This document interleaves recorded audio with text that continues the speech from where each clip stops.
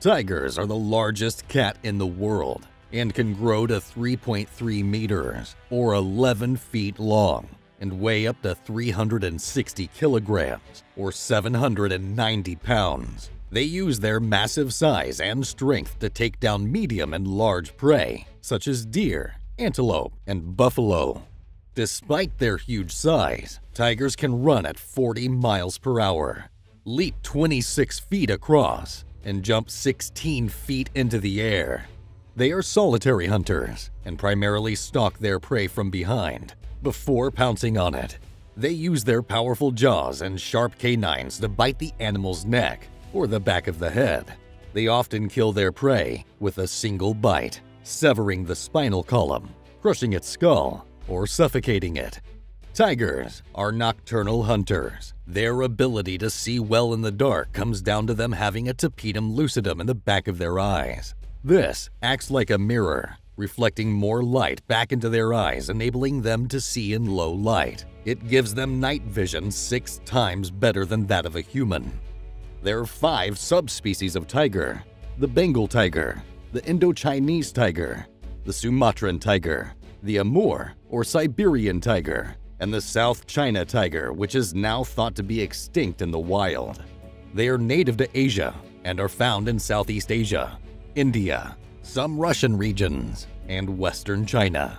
They occupy a range of habitats from tropical forests, savannas, and grasslands to evergreen forests, mangroves, and rocky terrain. Each subspecies has adaptations to thrive in its chosen habitat. For instance, Siberian tigers have much thicker fur, more fur on their paws, and an extra layer of fat than other tigers. This helps them endure extreme cold and temperatures as low as minus 40 degrees. The darker coat of the Sumatran tiger, smaller body size, and longer whiskers all help it to survive in the dense jungle of Sumatra. Despite differences between the six subspecies of tiger, they all prefer habitats in close proximity to water, plentiful prey, and foliage. But what if tigers hunted in packs? Would any of this change? And if so, what? In the wild, tigers compete for food with other predators such as leopards, wolves, bears, and crocodiles. Although these species rarely cross paths, if tigers hunted in packs, this may change. In fact, the whole ecosystem could change if tigers became group hunters. They already take down large prey. Maybe they would target large prey more often. Numbers of deer, antelope, and buffalo could come under pressure as the success of tiger kills grew. Currently, solitary tigers can be successful in only one of 20 hunting attempts. Hunting in a group generally results in greater success, even if it means the kill must be shared out.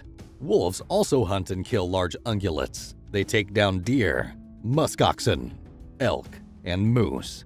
These kills are enough to feed the entire wolf pack. If tigers began hunting more successfully, they could impose significant pressure on wolf populations. Today, the tiger's habitat is conducive to hunting alone, stalking prey in dense foliage, and tree cover is easier for single predators. In Africa, a pride of lions takes advantage of open grasslands and savannas. They can hone in on their prey from multiple angles and target large herds of wildebeest or antelope grazing in the open. If tigers became group hunters, they could diversify their habitat and geographical range. They may leave the density of the forests and jungles and head to more open ground. This, in turn, may lead to them targeting different prey species. The herbivores that typically graze the open grasslands could come under strain, which could result in changes to the local flora. In turn, species that rely on this habitat and its flora may be affected. Over generations, tigers hunting in packs could become smaller in size. They wouldn't need to be so big, heavy, and strong individually if they had the support of the pack. Furthermore, it would be easier to feed the group if the individuals were smaller in size. Feeding five hungry tigers, each weighing over 700 pounds, would be challenging. Tigers can consume 40 kilograms, or 88 pounds of meat in one sitting. They typically require one deer-sized kill each week to sustain them. They would need to be constantly hunting to provide enough food for the group to survive, or solely rely on larger buffalo kills. Prey may also change and adapt to the danger of group hunting tigers. They may develop their evasive strategies such as feeding at different times throughout the day or night, grazing closer together, appointing a sentry, moving in sparser groups, or changing habitats. Of course, they already adopt some of these behaviors, but it is interesting to consider how changes in an apex predator can have a cascading effect along the food chain. If hunting in groups, tigers' social behavior would change. They would need to develop key communication skills to coordinate hunts. Lionesses, hunting in prides, usually communicate using visual cues. The lead lioness will stare intently at the target prey animal, and the others will follow, locking eyes onto the same animal.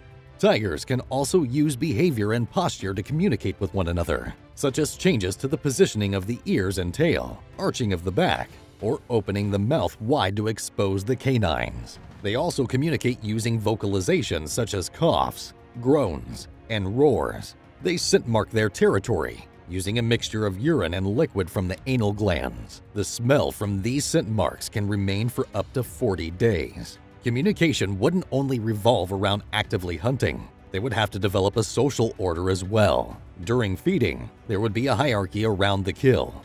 In lions, the highest ranking individuals, such as the alpha male or female, will begin eating the kill, followed by the other adults and then the cubs. If social behavior was to develop in tigers, they may share other activities as well. These activities could include other things, like maintaining territories, and raising their young. Lions who protect their territories together are far more likely to succeed in doing so. By securing a territory, they lay claim to the resources in it, such as prey, water, and shelter. Tiger territories can be huge, sometimes a couple of hundred miles in area. Maintaining such a large territory as a solitary animal uses a lot of energy, and can end in bloody battles. Working together as a pack would reduce the burden and energy lost covering such ground. This could result in tigers spending more time hunting or raising their young. Lionesses often give birth at similar times. This promotes the creation of a communal support network. Lionesses share the care, protection, and feeding of the pride's cubs. Sometimes mothers will even nurse another's cubs. If tigers became social animals, they could also create nurseries and develop altruistic behaviors for the good of the group. Less than half of all tiger cubs survive beyond their first year. Adopting a communal nursery strategy may improve the outcome for young offspring.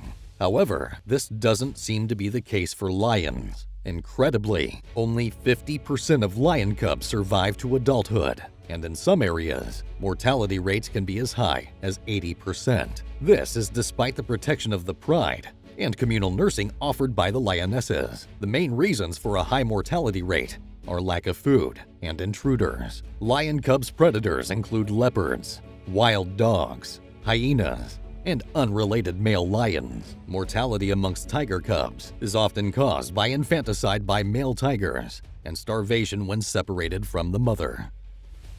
Humans are also devastating tiger populations due to habitat destruction, poaching, use of body parts for traditional medicine, and farming conflicts. Perhaps it is a good thing that tigers are solitary animals, with only 5,000 tigers left in the wild. Coming together in groups would only make them more vulnerable. Tigers have evolved over 2 million years to become one of the most incredible apex predators the modern world has known. They have evolved to become elite solitary hunters, and if it weren't for human impact, they would probably thrive today, as they have done before. Hunting in groups certainly has its advantages for some species, but for the tiger, a life of solitude is the way nature intended. That's all for today. If you enjoyed this video, don't forget to like, subscribe, and share it with your friends. You can also leave a comment with what you would like to see in the following videos. Thanks for watching. See you next time. Time.